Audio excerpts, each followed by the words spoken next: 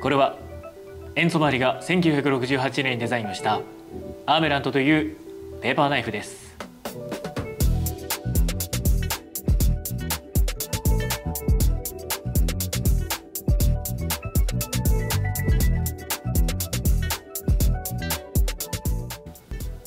アーメラントはステンレスをひねっただけのデザインですがこのひねり方が計算されていましてさらにこの見た目がまるで彫刻のように美しいです。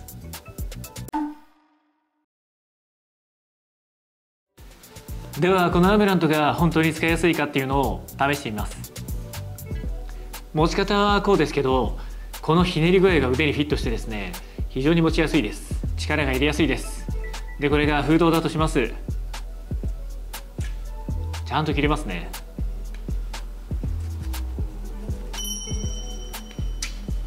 うん大丈夫ですね。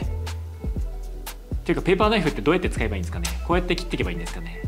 カッターじゃないですか。らこうギコギコとかはこうやっては開けづらいですけどまあどういう風でもいいですよね。開けばいいですよね、うん、私が不器用なんでちょっと多分うまくできないですけどまあ開けばいいです。ペーパーナイフですから刃物じゃないですから。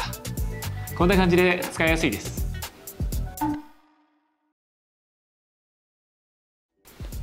それでそもそもこの時代にペーパーナイフいるのかって話があると思うんですよ。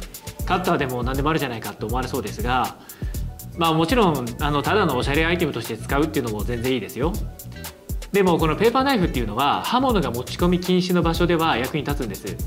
会社の中にはカッターや刃物類が持ち込み禁止ってとこがありますのでそうしたところではこうしたペーパーナイフは実用的なものです。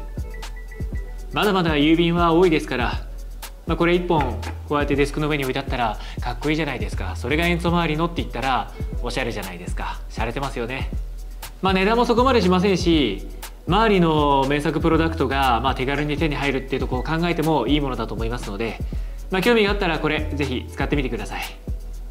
ということでアーメラントの話でした。参考にしてください。では。